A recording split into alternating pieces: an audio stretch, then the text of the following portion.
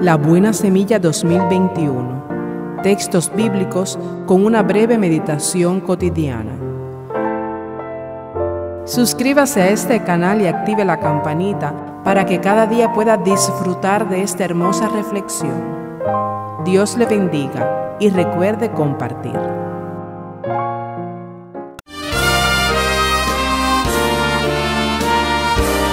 Presentamos la buena semilla, una reflexión para cada día del año.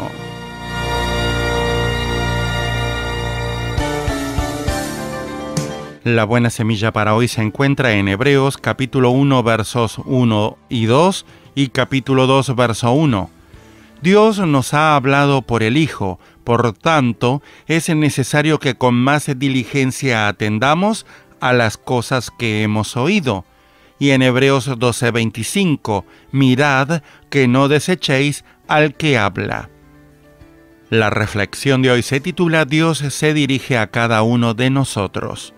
En un mundo donde se oyen tantas voces discordantes y contradictorias, Dios también habla. Sus palabras están en la Biblia, vocablo que significa el libro, no solo un libro especial, sino único, la verdad, la palabra de Dios. Él es Dios y la inteligencia humana no puede elevarse hasta Él mediante el razonamiento. Por lo tanto, para que el hombre pudiera conocer a Dios, fue necesario que Él mismo se revelara.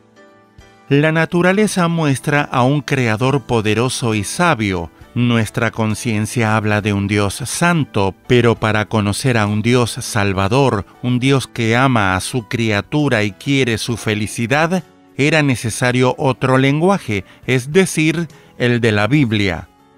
Este libro no es un conjunto de reglas morales ni un manual religioso reservado a personas instruidas o a un clero.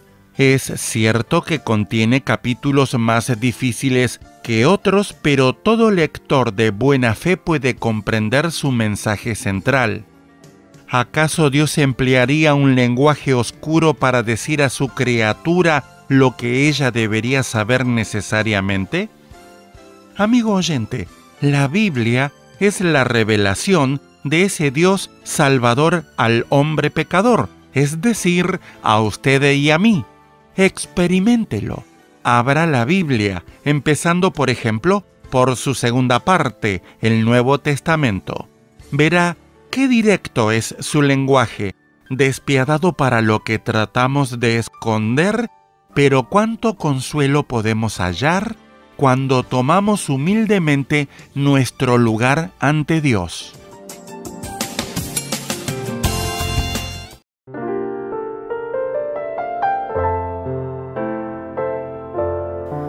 La Buena Semilla 2021. Textos bíblicos con una breve meditación cotidiana.